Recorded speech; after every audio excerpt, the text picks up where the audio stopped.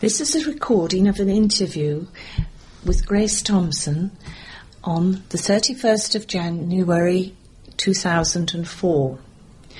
Grace, would you like to tell us something about yourself? Yes, I was born in Weston Turville. My maiden name was Samsworth. I was born at what was then 5 Main Street and is now number 20. I can remember it being renumbered, I can't remember the ins and outs of why. Uh, the house was right opposite the Hague Hall, which has long since been knocked down now. Uh, the Hague Hall was where they held dances and social do's. The Women's Institute used to put on music halls and plays. We had a kinema club used to come to the village where we would see the old films, Laurel and Hardy, etc. This did not go on for very long. It was a, a nine minute wonder. I was eldest of seven children, uh, my mother being eldest of one of eight children, and her family goes back through the village, living in the village for many, many years, early 1800s as far as I can make out. Um, my mother's sis, one of my mother's sisters actually lived next door. Her other two sisters lived in the village. Two of her brothers had lived in the village. Two of the brothers had moved away. Well, one of the brothers had been killed in the Second World War when he was only a youngster anyway, and the other brother had moved away. One of my earliest recollections was when I was just short of two and a half years old, surprising though it may seem. We were going, it was a, must have been a Thursday because we always visited grandmother on a Thursday. Mother's pushing the pram with my baby sister in it, and I'm toddling along, and all of a sudden mother screams, get under there, and she pushed me under the pram handle. There is an aeroplane alight, and it couldn't have been more than 20, 30 feet in the air, and it was blazing, and it came across the road where we were walking, missed the top of the tree, and landed in the field, the field that was then behind our house.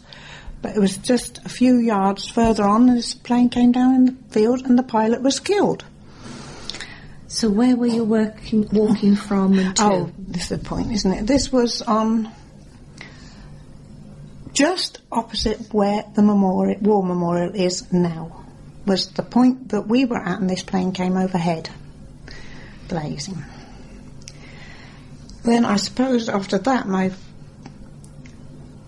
second recollection was the celebrations for VE Day.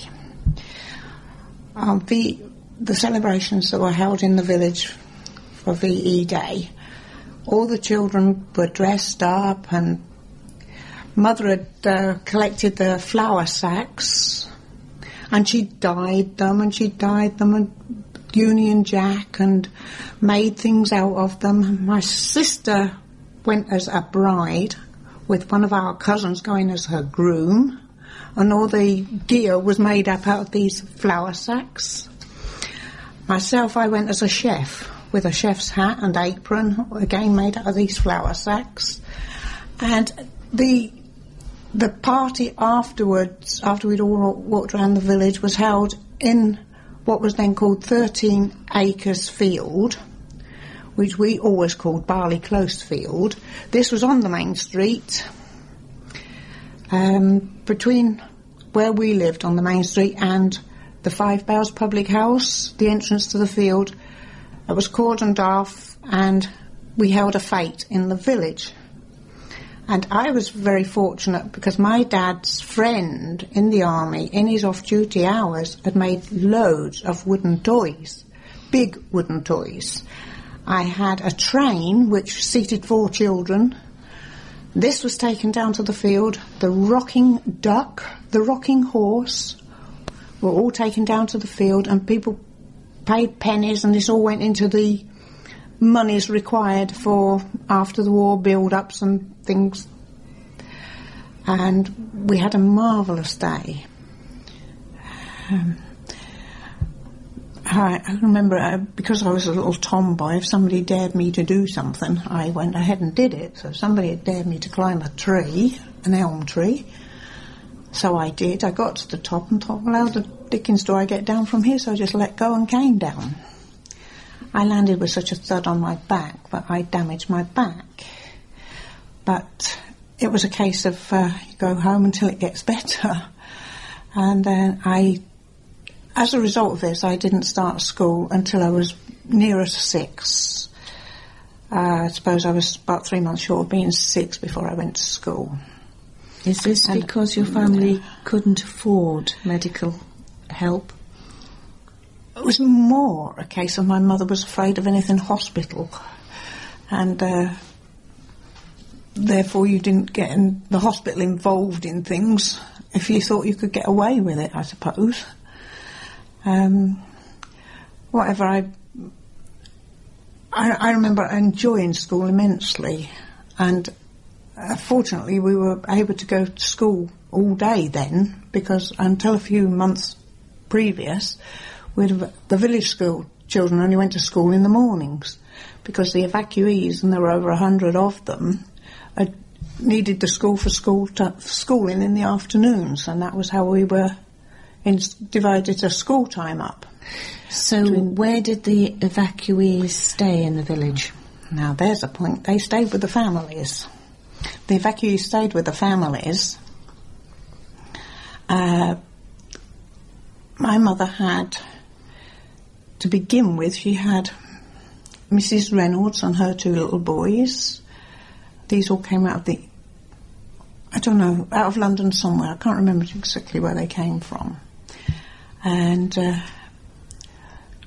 nearly everybody that could give a home to a family or children of families gave a home. And we had these two little boys, the two little Reynolds boys, and their mother stayed with us. And then for some reason they went. I think it was because the Blitz in London had finished and then they all went back home. Some to come out again later on. And then we had Auntie Ada came to stay with us. Now, Auntie Ada was 90 when she died. She died in 1956.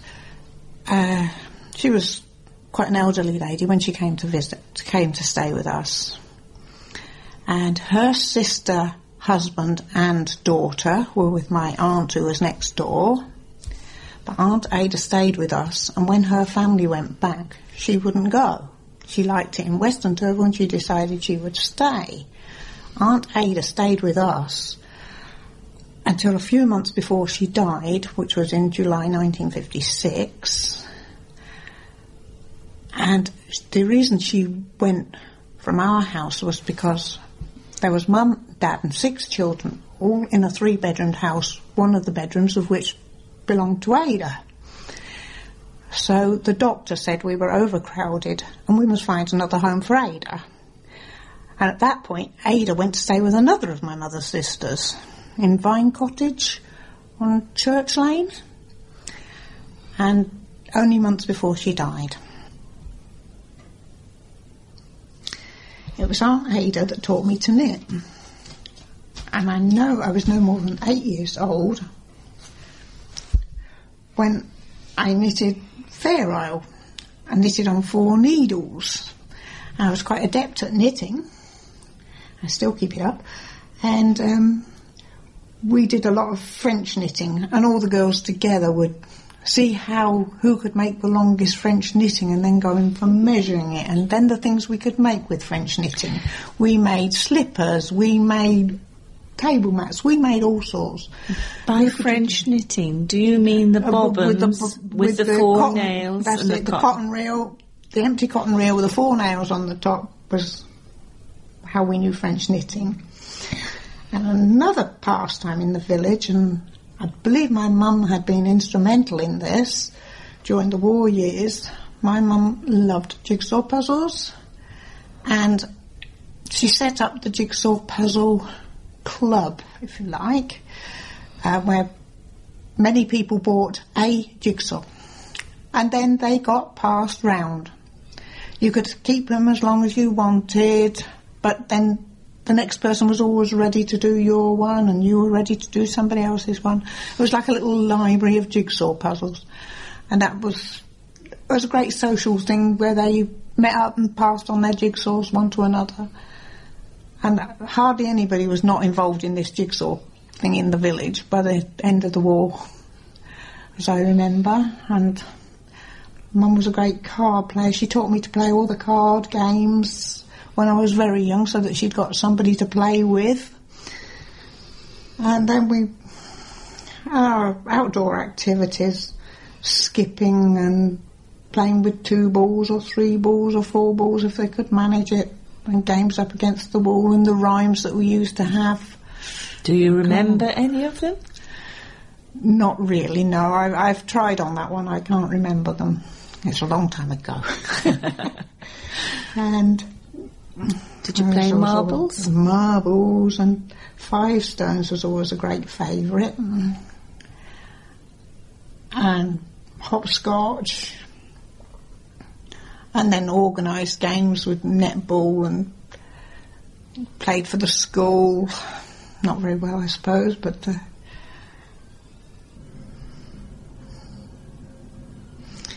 Oh, one character I remember in the village, a real eccentric old man.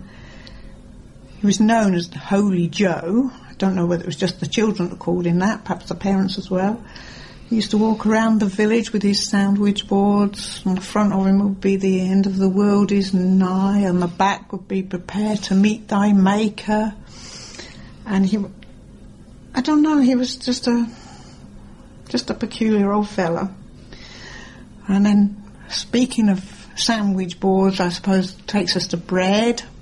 Well, we used to go round to the bakery around Bates Lane, where Mr. Bates was the baker, and you could go to fetch the bread if uh, run out before delivery time. And I can remember them deliver them with horse and cart. Excuse me, do you mean to say they delivered them to your house? They delivered to the house with a horse and cart. The, the sons used to come on the cart and bring the bread to the house. One was called Harold. I remember the other one's name that came. They were a large family. And they came, delivered the bread, and if we'd run out of bread before, before the delivery was due, we would be sent round. I think it was four p, a, four pence a loaf, big loaf, and we would go round to fetch the bread. And it would be nothing to have chickens on the table in the house, and cows coming through and doing what they'd got to through, do on the floor on their way through. Oh, you'll want to edit this out. and uh, the house was generally filthy, filthy, filthy, and you would find all sorts of bits and pieces in your bread that shouldn't ever be in bread. But uh, the bread, if you could get past the nasty bits, was lovely bread. And I always remember, and usually remember, the loaf that you'd gone to fetch became half a loaf by the time you got it home because invariably you'd eaten most of it before you got there. Fresh, warm, still hot, beautiful. And then another story about bread. The widow's Turpin, widow Turpin's charity was bread delivered to the poor of the village, or bread given to the poor of the village. I'm pretty sure on four Saturdays in a year, twice in March time, twice October, November, two Saturdays running each time, we would go and we'd have allocated to us the bread depending on the amount of people in the family, depending on how much bread you got. And I can remember going with a pillowcase and and the pram and putting the pillowcase in the pram, filling it with bread to take home. No, and that doesn't make sense now when you think about it. The bread would have gone off. well, didn't last for six months until the next lot. Um, your name was called out. Uh, it was Mr. and Mrs. Purcell. Mrs. Purcell was in a wheelchair. Mrs. Wheel, Mrs. Purcell sat with the book on her lap, called out the names, how many loaves you were to get. Mr. Purcell handed them down to you. It was being delivered in a van when I remember collecting it. Um, Whereabouts? and this was done at outside the school, old schoolhouse. I remember when I was small, we went to we would go and get some groceries from Mum down to Miss Holt's, which is down West End, which is called the Small House.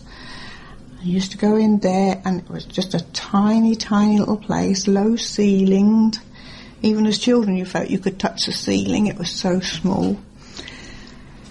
And she kept everything you could wish for in the grocery line, green grocery and everything. And she used to weigh up the sugar and put it in little blue bags. And, and it was Miss Holt that was our Sunday school teacher. And she was there. She'd been taken in by an aunt years before. She'd grown up in the village. And uh, the aunt had taken the Sunday school and then Miss Holt took over from her when the aunt got too old, and the aunt was Mrs. Kempster. We had uh, another village at the end of West End on the crossroads. Uh, I don't remember that, but my mother did, and she often spoke about Mrs. Bunce's shop. And another shop I remember down the Brook End was Mr. Maggs's we just called it Maggs's. It was at the end of Mill Lane. It was a general store. It's now a bed and breakfast. We went to Mr. Magg's shop. If we'd gone to Miss Holt and find that she hadn't something that was wanted, and we'd have to go down the other end of the village, which seemed like a long walk at the time. Would that be past the pond? And that was passing the pond, yes, mm, mm, about the pond that had the ducks on it, where we skated on the ice in the winter. And that was in the main street. in the main street, and you'd go home because you'd fallen in and gotten all in wet, got told off. And in the main street, opposite where I was born, was the post office is now called Weston House. And there was a Mrs. Biddle who kept the post office there. And after Mrs. Biddle had died, the post office was then moved to the house which was next to our set of cottages on the same side of the road. There was a Mrs. Bonham. Following on from Mrs. Bonham was a Mrs. Knappin. Further down the village at what is now the entrance to the Middlefield shops, we had a newsagent shop for Mr. and Mrs. Hall, and next door to that was the fish and chip shop. Speaking of Miss Holt, she was our Sunday school teacher. We went to Sunday school at the chapel. Um, we used to have uh, visiting speakers come, and then after the the Sunday school lessons, we would play games. And I remember as I grew older, I became a Sunday school teacher in the chapel. In the chapel, I did it for about eighteen months, I suppose, before prior to leaving school, and then until six or seven months after leaving school, I continued to do it. What age did you leave school? Uh, I was 15 when I left school. 15 just. So you went to Weston Turville School till you were what age? Uh, almost 14 when I left Weston Turville School. And then I went to the Grange. Went to the Grange in September 1954 finished in December 1955 because you finished then after your birthday, so I was able to finish because I'd had my 15th birthday already. If I hadn't, then I'd have had to have gone and done a term if it was in the first few days of the next term or any time after that. And did you start work then? And I finished. I finished school. I believe that the date was the 19th of December, and I went to work on the 28th of December. I had Christmas Day and Boxing Day as a holiday. And where was that? And I worked at Antiference in Aylesbury. Which did what? Uh, Antiference made, at that time, all sorts of things actually. They did um, television aerials was their main line of business, but they diversified making metal furniture, garden chairs, garden tables, etc. And Did you did you go to the youth club that was in the village at all? And I went to the youth club, which was uh, attached to the church and their Sunday school. And I, I started to go to the to the youth club on a Friday because I felt it wasn't fair that my sister could go and I was supposed to be going to night school.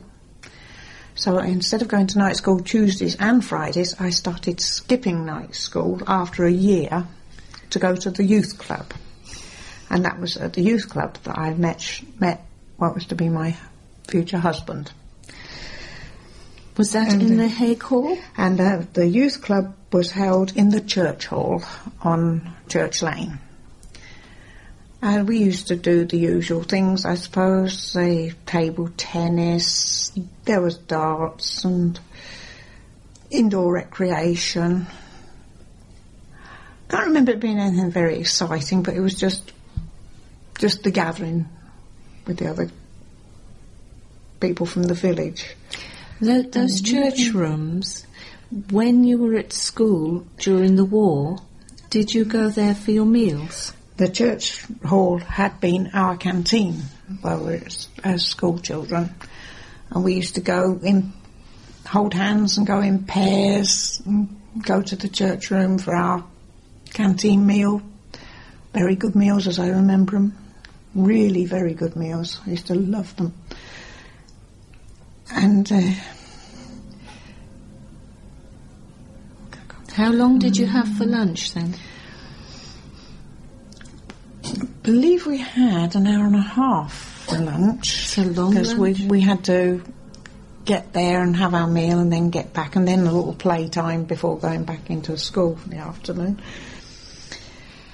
I remember on school holidays, before the holiday would start, especially the the long summer holiday, Mr. Lawton, the headmaster of the school, would say in assembly, any children that wanted to bring along their packed lunch, and I think the day he chose was Thursdays, come along to the school, half past ten on a Thursday, say, morning, and we would go for a walk. If it was pouring with rain, don't bother to come because we wouldn't be going. We would set off, we would go maybe up the Marroway, cross over the busy Trin- uh, Wendover Road, which in those days wasn't at all busy, and um, cross the field, follow the railway line, going through to Nash Lee Road, Wendover, as far as the Wendover station, and come back via a different route. We would be collecting wildflowers on the way, which we would then take home and press so that we could keep a record of what we'd seen on that day. Mr. Lawton made these things so interesting and so enjoyable that we really looked forward to the, the days in the school holidays when we would be going for our walks. What did you take for your packed lunches? And for packed lunches, which he'd um, told us to bring along, would probably be just bread and jam and a bottle of water. Because, especially ourselves with large families, the, that was the best Mum could render for us. And then, often the Saturdays, especially through the summer months, there would be fetes at different points in the village, the big houses, they open, open their gardens up for the fetes. There'd be things like bowling for the pig and throwing darts at a board and get a 10 shilling note for your top prize if you happen to hit that bang in the middle. And there would be raffles and tombolas and all the general fete things. Sometimes we had what would be regarded as important people come along. And the girls from the village school would dance around the maypole, which the boys had carried to these different venues. I remember one time we went as far as a field in Wendover, and the boys carrying this great big maypole all the way to Wendover. And then when we got there, we we did our dances. We did about I don't know eight, ten, twelve dances, and apparently these the steps for these dances had been devised by Mrs. Lawton, who was a teacher at the school, wife of Mr. Lawton and teacher at the school, and she devised, the, she choreographed these dances for us to do. We used to wear our pretty dresses and have a great deal of fun. And we had things like fairs, used to visiting fairs, travelling fairs used to visit, and they used to set up in the playing field in the middle of the village where the school is now. And we had aeroplanes and coconut shies and all the different things that the fairs would have had. Was that Being, being allowed to stay out late, which would be about half past seven at night, so that you could go when the fair started up. And uh, would that be once a year or a couple of times a year? I only remember it coming a few times, so perhaps it was once a year. I can't remember why it was stopped. There was some dispute about, I suppose, maybe the, the mess they made of the ground with the pitching of their tents or something. I don't know, it stopped. It didn't go on for very long. And then we had events more, more through the winter months in the in the uh, Hague Hall.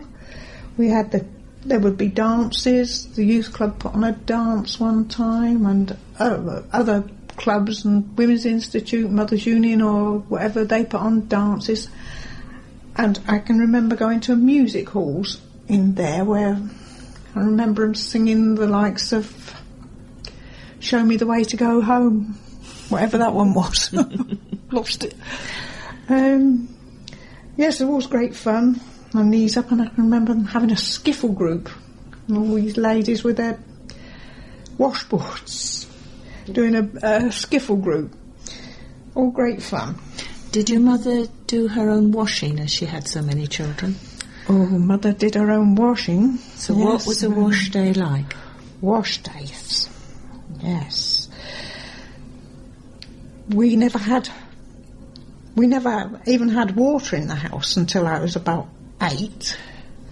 We fetched it from the well, which was in the garden. But a little bit further on from that, we'd got the water in. No heating, no water heating, and we built, used nine bricks. We made three cornered, three brick high arrangement. The Primus stove went under there, and a tin bucket's placed on top to heat the water that she's going to do her washing in. It involved two or even three wash tubs. You had your soap suds and did your washing in one. You did your rinse in the next one. And you had your blue bag to whiten your whites in the third one. And we had a great big mangle outside where you used to go take in turns to help put the sheets through. Two people to turn the handle and one to put the sheet in, one to catch it when it came out the other side wash days in our house was body clothes, Mum used to call them. It Was what you wore, obviously. Body clothes on a Monday, bed clothes and towels on a Friday. So there had to be two wash days. Remember the the home on the main street? The back door led straight into the living room, where we had the black lead range for the cooking. It was cook, all the cooking was done on the coal fire. Of course, this depended on the weather as to whether you baked a cake successfully or no. Wind blowing in the wrong direction would make the fire roar away and be too hot. No wind, and you get such a dull fire you couldn't cook anything. But, however, Mum managed admirably with all of her cooking. Then we had the what we called the scullery, and the scullery was just flagstone tiling on the floor. We had a long, narrow sink fitted once we got water into the house, and uh, we'd use a tin bowl for doing the washing. We used three wash bowls for big wash tubs for doing the washing, the clothes washing. We boiled the water on a heater which was placed over a Primus stove. and you do your washing with your soap suds in one, another Persil and um, I can't remember the name of the other one. Uh, the There were soap flakes. soap there? flakes, Lux fo- soap flakes for the woolies, and then you had your rinse waters, and then your Dolly Blue, which you put through a a third lot of water to whiten up your whites, and then it was take the washing out into the back garden where we had a great big mangle, and put the washing through the mangle. We did our eating mostly in the in the living room especially through the summer months where there was, there was, you know, sort of seven, eight of us around the table. Uh, in the summer months when it was too hot to light the fire, any cooking was done on a Primus stove. And then when I was about between 12 and 13 year old, we had some electricity put in, so we got our first electric cooker. Um, remember things about my the lady that we called Aunt Ada. Of course, she was not a relative, but children were brought up to call these sort of people aunt and uncle for res- reasons of respect in them days. She could spin a yarn. She could tell us all about the things, and she'd been. I think she was born uh, late 1830s, possibly early 1840s. The things she could tell us, she can remember people going to the Great Exhibition of 1851. She was a nanny to the Frys family. The Frys, the five sons of the chocolate Frys family. You saw that. oh, the different things she used to tell us. She was, she was such an interesting person to listen to. the house was rented from Rosemary Cox's parents. Whilst I can't remember what the rent was, I think it was seven and six a week. However, in 1959, as sitting tenant, the sitting tenants were offered the chance to buy these three cottages together for the sum of £1,000. I know my dad regretted not doing it. My dad was a, a printer and he worked most of his days for Hunt Barnard's in Aylesbury.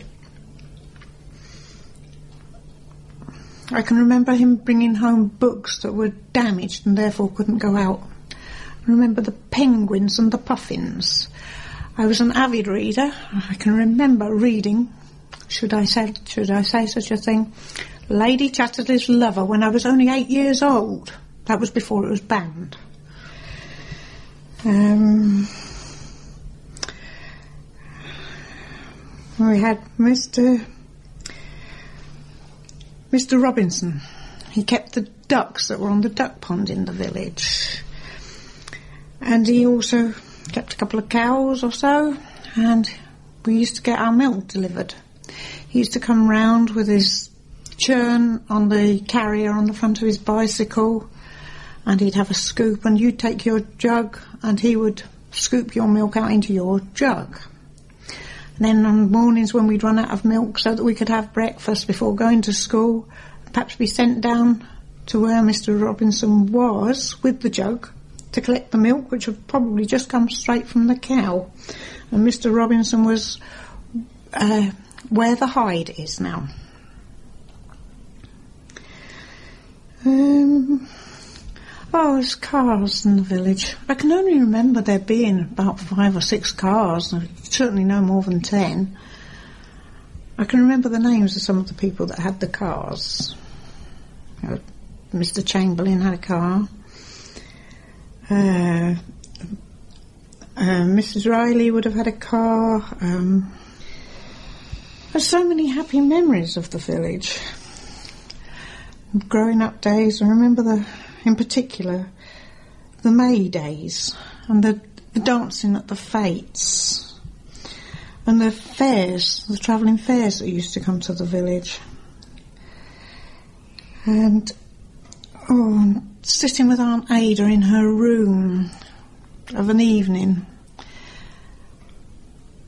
She told us so many stories. I just loved being with her. I was just short of 31 when I moved out of the village, to, only to live in Aylesbury. I, I had such a, I have such happy memories. I had such a happy life in the village. I really, really just so sorry that I ever left it. I've often thought about coming back. I'm, I'm near enough now just to pay visits. Grace, that was fantastic. You've got so many super memories and you've really made Weston Turville come alive.